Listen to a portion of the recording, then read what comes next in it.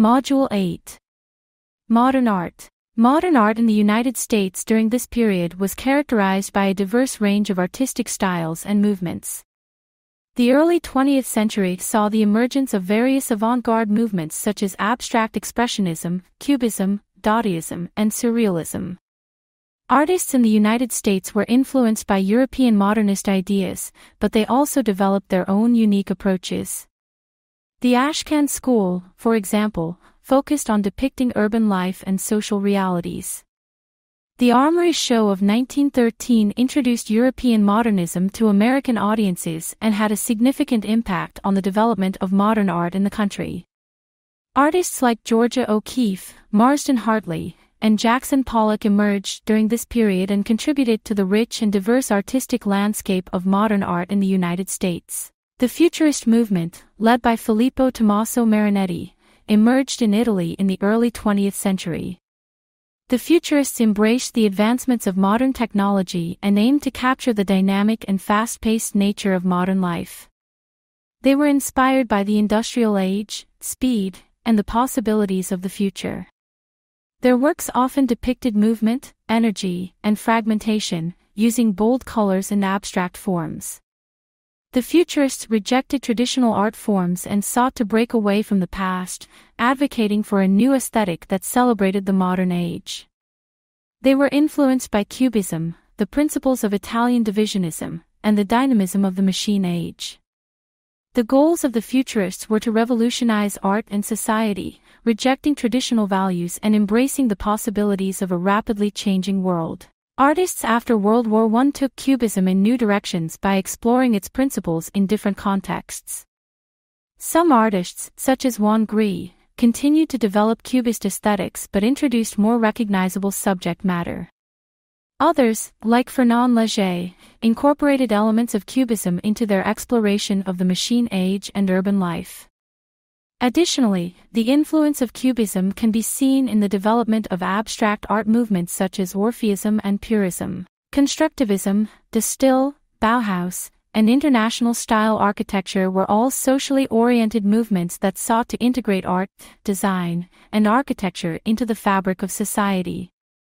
Constructivism, originating in Russia, emphasized the use of industrial materials and embraced the social and political aims of the Russian Revolution.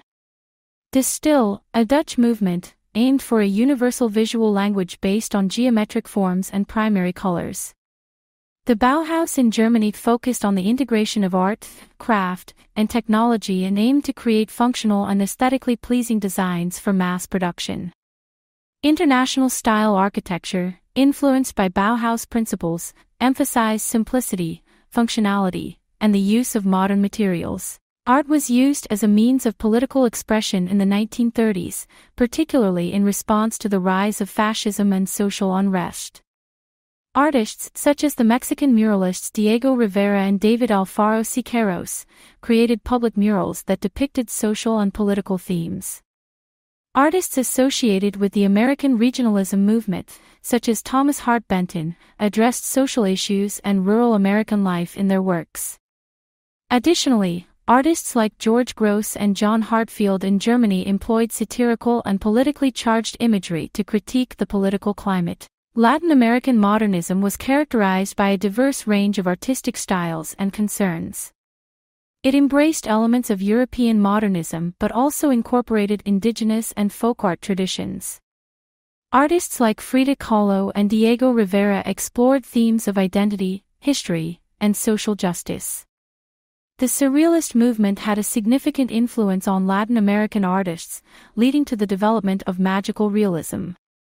Latin American modernism also highlighted cultural and political issues specific to the region, including postcolonialism and the struggles of indigenous populations. American regionalism, also known as American scene painting, emerged during the Great Depression and aimed to depict the everyday lives of ordinary Americans and their connection to specific regions. Artists such as Grant Wood and Thomas Hart Benton celebrated rural and small-town America, often with a nostalgic and romanticized view. Regionalist artists sought to capture a sense of national identity and to counter the influence of European modernism by focusing on distinctly American subjects and landscapes. African American artists had distinctive concerns related to race, identity, and representation. During the Harlem Renaissance in the 1920s and 1930s, artists such as Aaron Douglas and Jacob Lawrence depicted African American experiences and culture, challenging racial stereotypes, and asserting a positive African American identity. Later, during the civil rights movement in the 1960s, artists like Romare Bearden and Faith Ringgold used their art to advocate for equality and justice. Organic abstract art, characterized by fluid and biomorphic forms, can be seen as an anti-fascist statement due to its rejection of the strict geometry and rigid ideologies associated with fascist aesthetics. By embracing organic shapes and emphasizing individual expression and freedom, organic abstract artists challenge the oppressive and regimented ideals of fascist regimes. Artists like Jean Arp and Joan Miro explored organic abstraction to celebrate the spontaneity and vitality of life, contrasting the authoritarianism and conformity of fascist ideologies. The New York School refers to a group of artists based in New York City in the mid-20th century who played a significant role in shaping American art. Within the New York School, two prominent movements were abstract expressionism and color field painting. Abstract expressionism, also known as the action painting, emphasized spontaneous and gestural brushwork to convey emotions and express the artist's inner world. Artists like Jackson Pollock, Willem de Kooning, and Mark Rothko were notable figures of this movement. Their works often featured large-scale canvases filled with energetic brushstrokes and abstract forms, creating a sense of dynamism and emotional intensity. Color field painting, on the other hand, focused on the exploration of color and flat, expansive areas of color on the canvas. Artists such as Mark Rothko, Barnett Newman, and Helen Frankenthaler were key figures in this movement. Their works featured large, unbroken fields of color, often devoid of recognizable subject matter, aiming to evoke emotional and spiritual responses through the power of color and form. International style architecture evolved in the post-war years as a movement that embraced modernist principles of simplicity, functionality, and the use of new materials such as glass and steel. It sought to create clean, minimalist designs with an emphasis on open spaces and geometric forms. Architects such as Ludwig Mies van der Rohe, Walter Gropius, and Le Corbusier were influential in shaping the international style. Buildings characterized by flat surfaces, smooth lines, and a lack of ornamentation became iconic examples of this architectural style. Assemblage artists were influenced by the Dada movement and Surrealism, incorporating found objects and materials into their artworks. Artists like Robert Rauschenberg and Louise Nevelson created three-dimensional compositions by assembling various objects and fragments into unified artworks. Their works explored themes of consumerism, the passage of time, and the reinterpretation of everyday objects. Happenings were artistic events that aimed to blur the boundaries between art and life. They involved spontaneous performances, often in non-traditional spaces, where audience participation was encouraged.